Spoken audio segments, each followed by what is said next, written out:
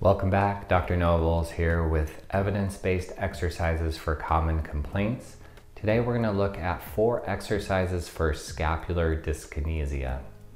Uh, this is another one of those shoulder exercises that there's a lot on the internet showing you all sorts of different exercises. So again, I've tried to recommend some exercises uh, that have evidence behind them, but also are a little less mainstream than what you might be currently finding. The first exercise is called the TYI scapular depression. Lay on a bed or a table face down, then bring the arm up to the side in a T position. Lower the arm down, and then bringing the arm up to the diagonal. Lower the arm down, and then bring the arm straight overhead in an I position, lowering the arm down. The next exercise for scapular dyskinesia is called the trapezius stretch. Reach the arm back behind you, take hold of the opposite elbow.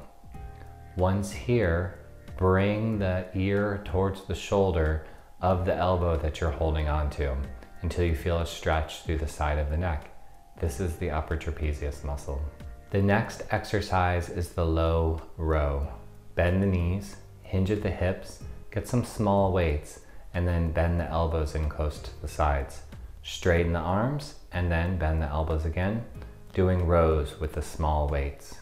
The next exercise is called Brugger with band. Get a band or a strap or a rope, and then bring it out to the sides, getting some tension through it, and then bring the arms slightly back behind you so you're stretching the arms back. Then tuck the chin in towards the chest, lift the chest, and work on your posture. These four exercises can be used for scapular dyskinesia. If you're doing the exercises, start with three sets of five, working up to 10 reps over time. If the exercises are gonna work, you'll know that they're working within the first week or so. If the exercises are not helping or seem like they're making things worse, then stop the exercises and find another way to heal yourself. Thank you so much for watching this video. I really hope that this helps you heal your shoulder pain.